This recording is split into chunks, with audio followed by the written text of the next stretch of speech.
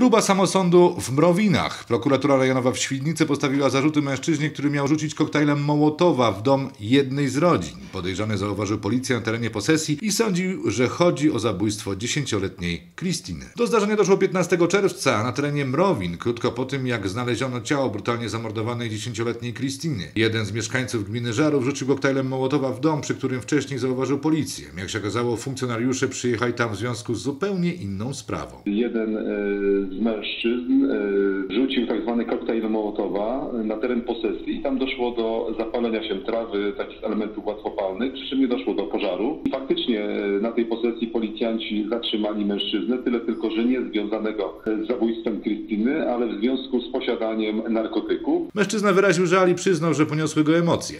Ten mężczyzna przesłuchany w charakterze podejrzanego przyznał się, złożył wyjaśnienia, potwierdził, że faktycznie e, rzucił ten koktajl Mołotowa, wyraził żal skruchę, stwierdził, że kierowały nim emocje.